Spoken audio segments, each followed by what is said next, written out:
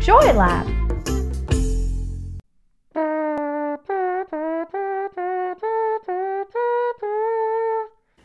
All right, let's figure out the percent concentration of the sodium fluoride solution. Remember, percent concentration is mass of solute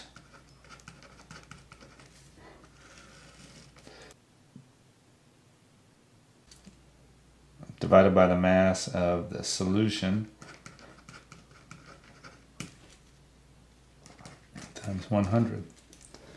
So that's part over total. In this case, let's go with grams. Doesn't matter what mass units we use as long as they're the same. So we're going to use grams of sodium fluoride over grams of solution times 100.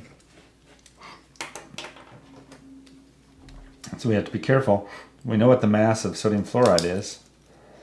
So we have 28.0 grams of sodium fluoride. But here's the big mistake. What is this? This says 28.0 grams of sodium fluoride are dissolved in 455 grams of, of water. So remember, the solution is both the solute and the solvent. This is the solvent.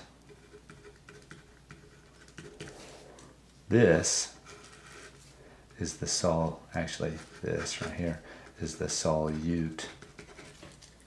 Okay. Uh, so we got the solute, but then the mass of the solution is going to be 28.0 plus 455.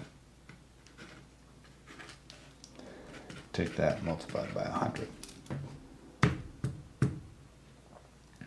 So we have 28 divided by, and I'm going to go ahead and open the parentheses, 28.0 plus 455 equals, and then we're going to take that times 100, 5 point, how many sig figs?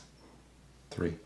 5.79, so that 7 is going to make the 9 a 10, so it's going to be 5.80.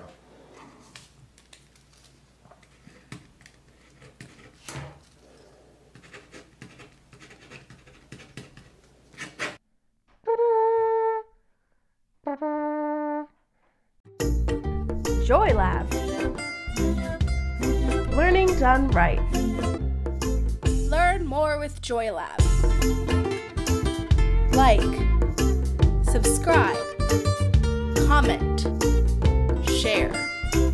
Visit us at www.joylab.biz. Thank you.